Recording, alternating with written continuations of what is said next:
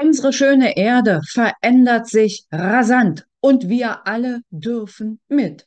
Hirn oder Herz? Das ist hier die Frage. Wie findest du Orientierung für deinen Seelenweg? Was bedeutet für die geistige Welt, liebevoll zu uns zu sein? Und auf welche Weise führt uns die geistige Welt? Uns alle erreichen schon seit längerer Zeit massive Energien von der Sonne und auch aus dem Universum insgesamt. Die Wissenschaft hat das längst registriert und wenn man sich in entsprechenden Medien umschaut, dann bekommt man es auch genau bestätigt. Wir reagieren natürlich vollkommen unterschiedlich darauf. Die einen sagen, um Gottes Willen, was geschieht mit uns, was wird jetzt werden und vertrauen nach wie vor dem, was sie in den Mainstream-Medien Angst auslösendes erfahren. Die anderen wollen diese Energien gern für sich nutzen. Wir sind Schwingungswesen. Mithin sind wir natürlich direkt, auch wenn wir zurzeit inkarniert sind auf dieser Erde, betroffen von dem, wenn uns Energien und Schwingungen aus dem Außen erreichen. Das heißt, in uns fängt etwas an anders zu schwingen und sich zu weiten im Vergleich zu dem, was wir früher gewohnt waren.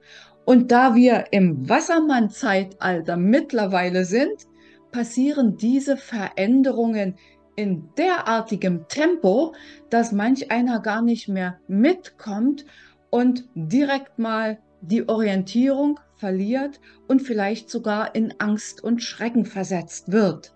Jetzt ist die Frage, was hilft uns auf unserem Seelenweg, den wir alle beschreiten, egal ob uns das schon so bewusst ist oder auch noch weniger bewusst. Hilft uns unser Hirn, so wie bisher, Zahlen, Daten, Fakten auswerten, was wir in der Vergangenheit uns gemerkt haben, oder ist es das Herz?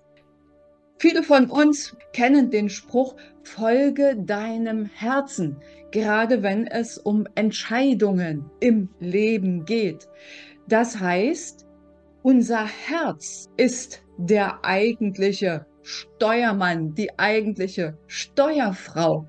Nur manch einer versucht es im Nachgang mit Zahlen, Daten, Fakten zu begründen, um nicht blöde dazustehen, um es mal so salopp zu sagen. Wer sollte denn hier die Priorität haben? Aus meiner Sicht, und das möge jeder für sich entscheiden, äh, inwieweit er dem folgen kann, eindeutig das Herz.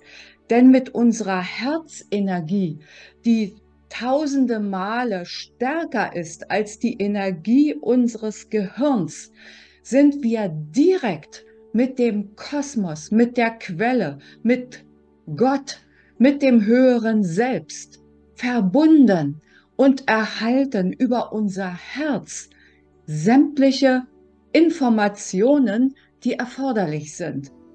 Die Frage ist nur, hören wir unser Herz? Hören wir auf unser Herz?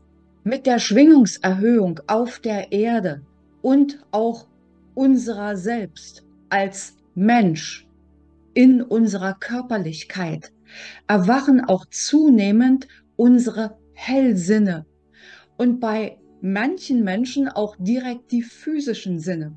Ich zum Beispiel merke, dass ich sehr viel mehr höre.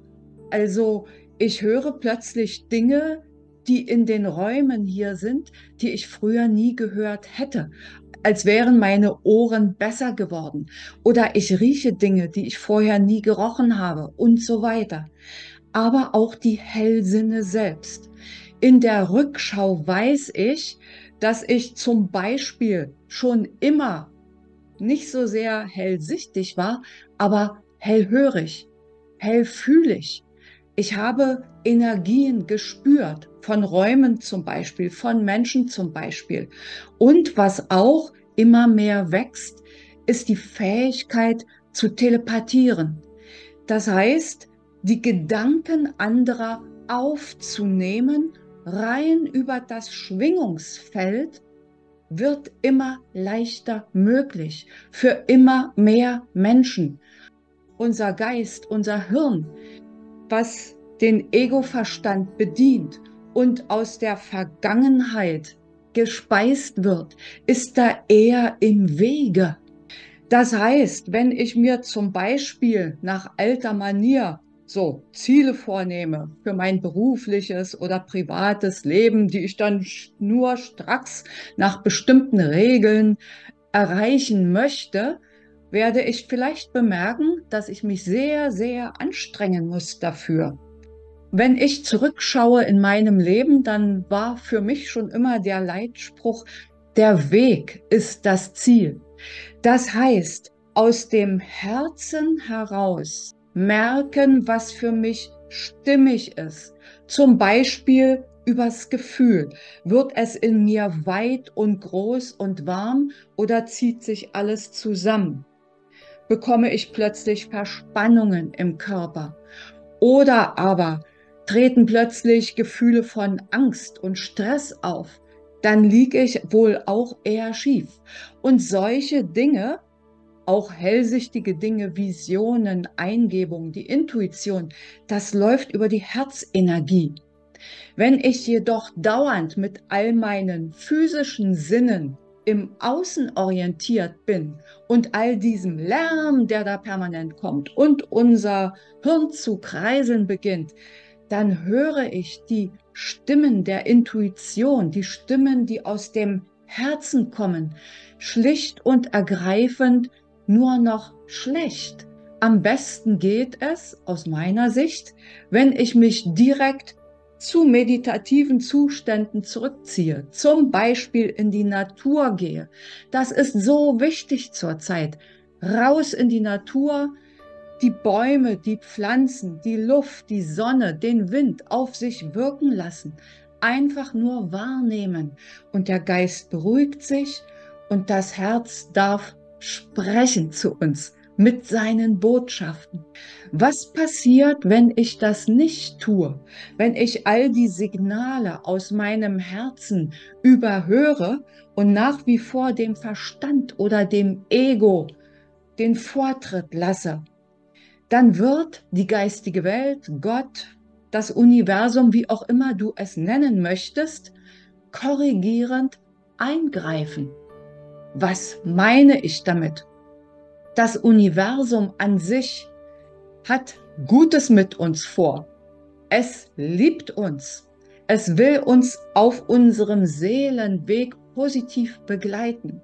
Wenn du aber permanent deinen Pfad, den du dir vor der Inkarnation selbst ausgewählt hast, verlässt, weil das Hirn dir im Wege steht, auch mit den ganzen Glaubensmustern, die in dir drinnen sind, dann wird das Universum auf verschiedenste Weise eingreifen. Und zwar in Liebe und zum Wohle aller. Das heißt, es schickt dir mitunter unangenehme Situationen, unangenehme Menschen oder gar irgendeine Krankheit. Das ist nichts Böses nach dem Motto, oh Gott, warum muss das mir passieren? Nein, es ist sozusagen der Wink mit dem Zaunspfahl. Nach dem Motto, guck mal in dich. Nimm mal wahr, was dein Herz dir zu sagen hat. Und das ist liebevoll. Und wenn du einen Weg A nicht gehst, weil du denkst, ne, das weiß ich besser, dann wird es dir einen Weg B, der möglicherweise ein bisschen krasser ist, präsentieren. Diese heftigen Korrekturmaßnahmen aus der geistigen Welt, von Gott, vom Universum, wirst du natürlich nur dann erhalten, wenn du die sanften Zeichen, und derer gibt es so, so, so viele, im Vorfeld einfach immer wieder überhörst. Das sind zum Beispiel sogenannte Synchronizitäten. Du gehst mit einer Frage schwanger, weißt nicht recht, soll ich so oder soll ich so, fragst deinen Verstand, deine Erfahrung und so weiter. Und plötzlich siehst du da draußen auf der Straße ein Plakat, was allem Anschein nach die Antwort hat auf deine Frage. Das ist so eine Synchronizität. Das sind zwei Ereignisse, die ursächlich nicht miteinander im Zusammenhang stehen, aber durchaus, wenn du aufmerksam bist, du wahrnehmen kannst. Oder aber sogenannte Engelszahlen 111, 222, 333 und so weiter, die dir Bestätigung geben, was diese Zahlen zu bedeuten haben. Da gibt es massenhaft Foren dazu und Einträge bei Google. Aber ich persönlich bin so ein bisschen der Meinung, man sollte auch da auf seine Intuition achten, was die Bedeutung der Zahlen angeht. Für mich zum Beispiel ist dieses wiederholte 111 zum Beispiel als Autokennzeichen, als Telefonnummer oder auf einem Kassenbon gekoppelt immer an einen Neustart, an einen Neubeginn. Finde da das, womit du in Resonanz gehen kannst. Auch Federn auf deinem Weg. Ich habe verschiedentlich auch Videos auf meinem Kanal zu diesem Thema. Die verlinke ich am Ende dieses Videos. Also, fassen wir mal zusammen. Du bekommst jede Menge Unterstützung aus dem Universum und du hast jetzt die wunderbare Chance, auf deinem Seelenweg sehr gut voranzukommen, wenn du dein Herz favorisierst, wenn du dem Herzen die Führung überlässt und den Verstand auf Platz zwei verweist. Er darf das, was das Herz entschieden hat, dann in den Details ausarbeiten. Denn das ist nicht unbedingt die Angelegenheit des Herzens. Ich hoffe, das hat dich ein bisschen inspiriert. Ich wünsche dir viel Erfolg und gute Erfahrungen mit dem Wahrnehmen der Signale aus deinem Herzen, eine gute Zeit und sage bis zum nächsten Video oder Podcast. Tschüss.